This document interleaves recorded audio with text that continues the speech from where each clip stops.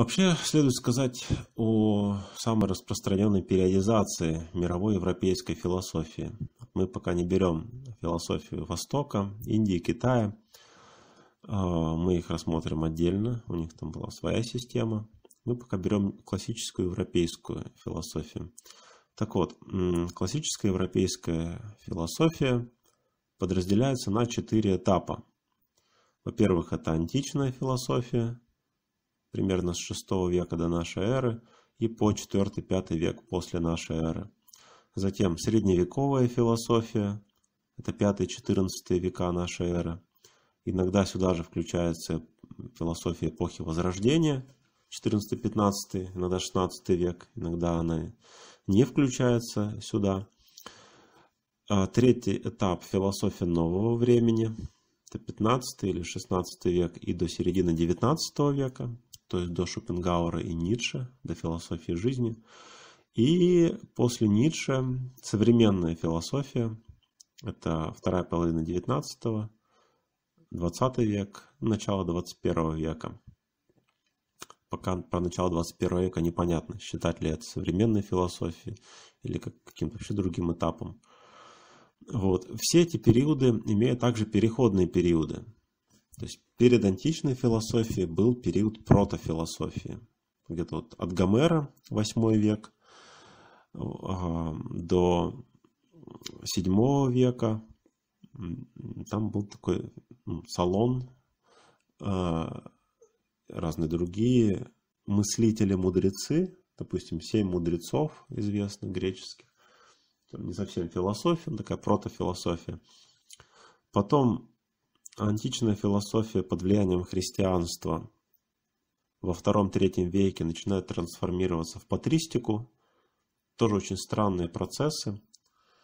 А, образование приходит в упадок, а, философия приходит в упадок, но под влиянием религии появляются элементы магии, аскетизма. Вот. И с третьего века по пятый это уже не античная философия, но еще не средневековая. Такой странный переходный период. Затем вот философия эпохи Возрождения, это переходный период от средних веков к новому времени. Это вот от Данте, Боккаччо и Петрарки э, через там, Лоренцо Валлу, Марсилио Фичино, итальянских философов и поздневизантийских философов, вроде Гемиста Плефона – к а, философии нового времени, уже там к Декарту и Бекону. И переходный период в XIX веке, вот, Шопенгауэр, вот, Кierкегор, да и Ницше, в общем-то, тоже довольно переходная фигура. А там уже своя история будет. Ну и, наверное, современная философия, а, ее тоже можно рассматривать как некий переходный этап. А, вот. С чего начиналась философия? С чего начиналась античная греческая философия? Она начиналась с поиска первоначала. По-гречески первоначало – это архе. Причем архе переводится не просто как начало, но и как власть, руководство. Что-то, что находится превыше всего. Первые философы пытались найти архе а, в природе – в элементах этого мира. А,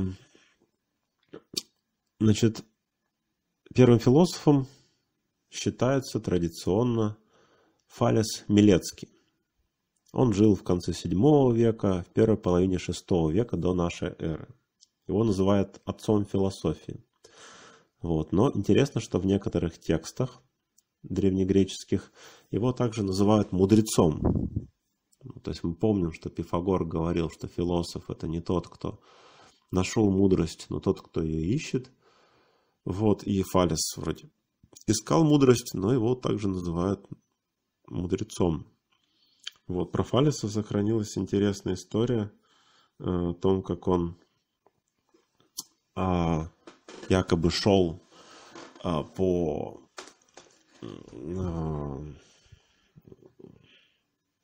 по городу, там за городом, смотрел на звезды, вот, и не заметил колодца колодцы были такие, типа купалин, и упал в колодец. Ну вот. И служанка, которая там набирала воду, высмеяла его и сказала, что вот истинный философ. Вот, смотришь на небо, а сам общем, не видишь, что у тебя под ногами. Вот. Но зато он знал, как устроено небо. И Фалес, желая доказать, что он не промах на самом деле, что философия вещь полезная, он подсчитал, когда в стране должен был случиться а, урожай хороший оливок. И перед самым урожаем он скупил за бесценок фактически все маслодавильни. Ну, масло делали из оливок. Он скупил все маслодавильни. И, соответственно, когда э, урожай пошел, все стали делать масло, а все маслодавильни у Фалеса. И все пошли к нему. И он заработал огромное количество денег на этом. Вот, таким образом, э, философы очень любят эту историю, потому что большинство философов это довольно бедный народ. А, вот, а он якобы философы все-таки могут что-то придумать и выжить как-то. Вот. А, еще философу приписывали знаменитое изречение, которое было написано на фронтоне храма Дельфийского оракула, и которое очень любил э, Сократ. Изречение «Гносис и Автон» – «Познай самого себя», которое говорит о необходимости э, саморефлексии. Вот. Фалесу также приписывают трактат о солнцестоянии и равноденствии. И также учебник по астрономии, по-видимому, для моряков, который имел, вероятно, практическое значение. То есть звезды он знал не понаслышке. Вот, до нас, к сожалению, дошли лишь небольшие фрагменты его сочинений, и то в виде пересказа. Вот. И, по сути, мы знаем только два фрагмента философских из него. Первый фрагмент говорит, что все создано из воды. Второй фрагмент говорит, что все полно богов. Вот и все, собственно, что мы имеем по поводу Фалеса. По поводу того, что все создано из воды. А, русский философ Сергей Трубецкой замечает, что а, это, по сути, философский монизм. Монизм от слова «монос» – «один». То есть речь идет о, о неком едином принципе, о едином основании, из чего все появилось.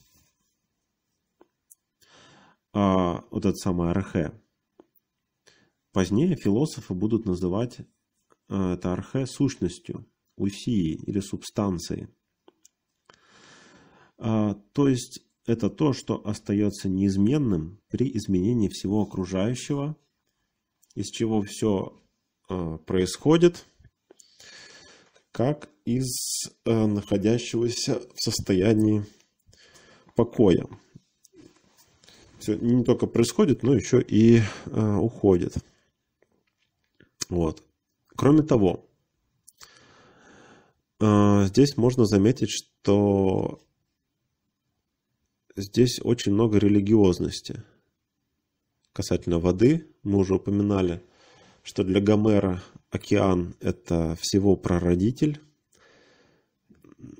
и в разных мифологиях океан и вода являются основателями, из чего все происходит. И вот Фалес, видимо, связан с этой э, мифологической традицией.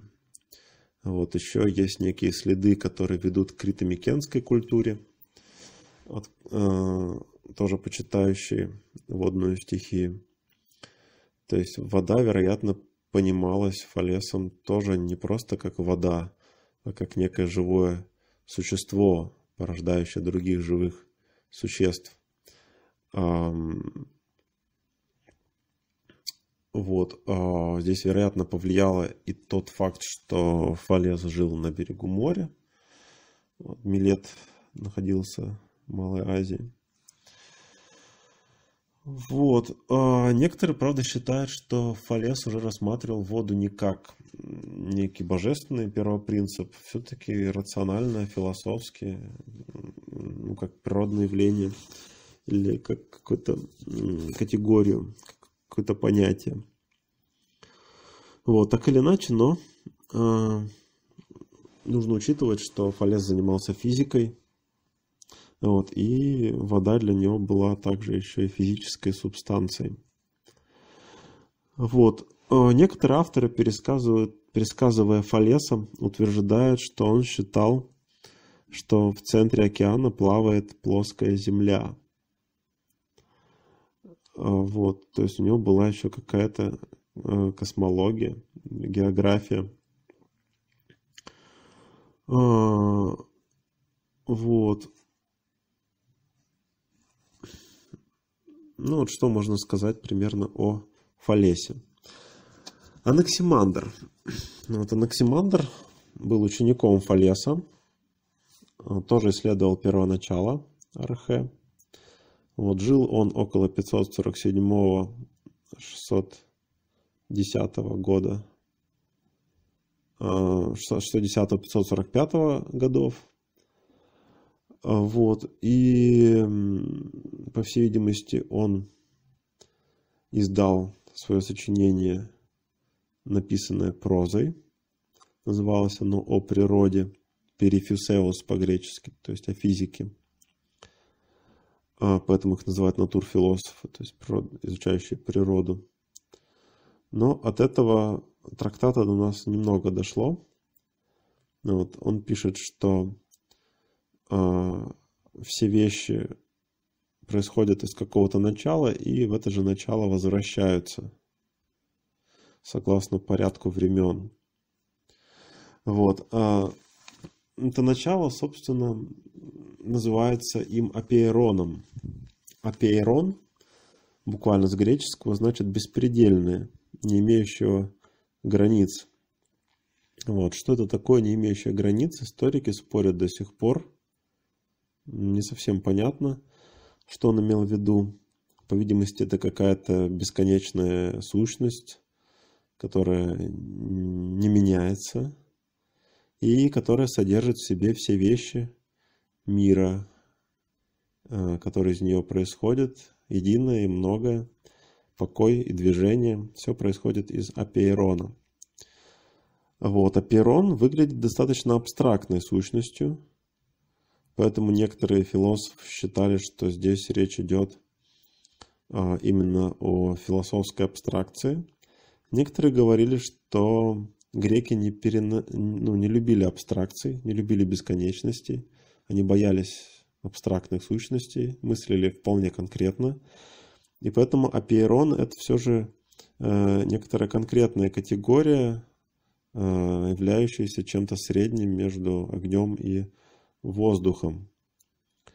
А, вот. Но а, само слово все-таки переводится как неопределенное. Вот, и, по всей видимости, мы должны признать, что это абстрактный термин. Вот. А у Анаксимандра существовала также интересная теория физическая. Вот он считал, что из э, беспредельного первоначала выделяются, выделяется холодное и теплое начало. А здесь есть некие аналогии с мифологиями. А, воздух и вода, например, в Египте, Шу и Тефнут. Вот затем холодный воздух окружается огненной корой и, будучи согретым, образует огненные вихри – Огненные вихри разрывают кору на несколько колец, и каждое из этих колец окружает, э, окружается темным воздухом. Э, воздух приводит эти кольца в движение, кольца начинают вращаться, и э, они распределяются, эти кольца. на самом верху находится круг, кольцо Солнца, затем кольцо для Луны, и ближе всего к Земле круг звезд. А в воздушных слоях э, над Землей есть некие круглые отверстия. И вот якобы через эти отверстия мы видим огонь разных сфер. Сферу звезд, сферу Солнца, сферу Луны. То есть, если мы посмотрим на небо, да, а, с точки зрения Анаксимандра, там все наполнено разными видами света. Вот, но мы видим лишь маленькую дырочку, все это. И сферы вращаются, и как бы вращаются дырочки вместе со сферами, поэтому мы видим такое движение Солнца, Луны и звезд на небе. Такая была у него интересная теория. Вот, любопытно, что Анаксимандр считал, что в центре мира находится Земля. Вот Земля окружена воздухом, при этом э, Земля э, по Анаксимандру не круглая, а в форме цилиндра. Вот. Ну, естественно, не было исследований по поводу Земли, поэтому вот он так считал.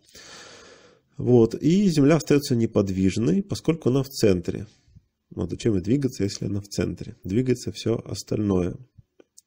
Вот. То есть это попытка создать некую научную картину мира. Здесь нету богов, которые колесницы свои по Солнцу, какой-нибудь Гелиос там, это чисто такая рациональная картина мира, ошибочная, но э, независимая от богов. Вот. Э, самое интересное то, что у Анаксимандра были также теории происхождения жизни на Земле. Например, у него есть нечто похожее на теорию эволюции. Вот, иногда его даже называют античным Дарвином. Вот. В частности, Анаксимандр считал, что Первоначально Земля была во влажном состоянии. Затем появился воздух, затем появилась суша.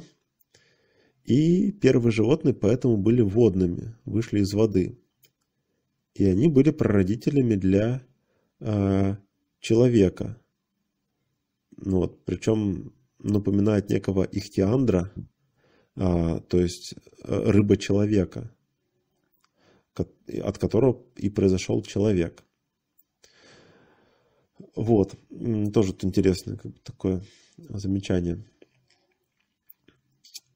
А, вот еще надо обратить внимание, что для Анаксимандра, как и для Фалеса, природой, фюсисом, была не просто материя а, скажем так, неодушевленная, а материя одушевленная, живая материя. То есть это еще религиозное сознание. Да, он не а, олицетворяет эту материю в виде богов, но он все-таки считает, что она божественна по своему характеру. Анаксимен. Анаксимен жил в 585-525 годах до нашей эры – он был учеником Анаксимандра, и он попытался синтезировать теорию Фалеса и теорию Анаксимандра. А, интересно, что Анаксимена последующие философы гораздо больше а, значения ему придавали, чем Фалесу и Анаксимандру. Вот. Анаксимен считался как бы выразителем итоговой милецкой философской традиции – вот, так вот, а, он определил, что беспредельное не может быть а, неопределимым. Оно должно быть а, в какой-то степени вещественным. И чтобы от него рождались все другие элементы, все другие стихии. И поэтому он определил беспредельное как воздух. Потому что воздух содержит в себе характеристики как апейрона. Его нельзя попробовать. Он невидим, невесом, как считали греки. С другой стороны, воздух все-таки можно представить в виде тумана или какого-то дыхания, то есть он обладает некоторыми свойствами вещества. Вот, то есть это не совсем уход от абстракции Анаксимандра, а это скорее всего синтез вот, между абстракцией и между вещественностью Фалеса. Вот. С тем, чтобы решить проблему единого и многого. То есть как из многого, из единого произошло многое. То есть все вещи мира из единого первоначала. Потому что в воздухе уже содержится многое, уже содержится вещество. А, вот. И Анаксимен писал, что воздух образует все множество вещей очень просто, путем либо разрежения, либо сгущения. Сгущается, появляется земля. Разряжается, получается огонь. И, и так далее. И дальше эти элементы стихии комбинируются, и получается весь остальной видимый мир. Вот. А, об Анаксимене еще известно, что, что он считал мир живым существом. Ну, в общем-то, как и Фалес и Анаксимандр. А, считал, что мир дышит, подобно тому, как душа, будучи воздухом, держит нас, так дыхание и воздух объемлют весь мир. Это второй фрагмент. Душа понимается как само дыхание. Вот мы как бы уже говорили в связи с религией, историей религии. Вот, от однокоренного слова дух, дыхание и дух однокоренные. Землю Анаксимен представлял плоским диском, от которого воздух поднимается из парения. Из этих влажных испарений образуются небесные тела, которые, подобно листьям, носятся в воздухе. А планеты это неподвижные звезды, прикрепленные как гвозди к хрустальному своду небес. Такая красивая концепция. Вот. А, затем в Милете философия приходит в упадок, а, поскольку начинается там всякая политическая заварушка, например, греко-персидские войны, когда Милет был взят, разрушен. Вот. Правда, традиция не умерла. Там еще существовали другие разные философы. Гиппон, например, вот, он считал основанием мироздания влагу. То есть не воду, а влагу. Тоже была оригинальная философия, но до нас не дошло практически данных о ней. Вот. Некоторые поддерживали концепцию э, Анаксимена, считая началом всего воздух, например, Идей, вот, или Диоген Аполлонийский. А, ну и дальше наступает уже другой период, период дуалистической философии, когда философы признают, что начало не одно, что их может быть и два, и духовное, и материальное. А, вот и что не обязательно признавать единое э, начало.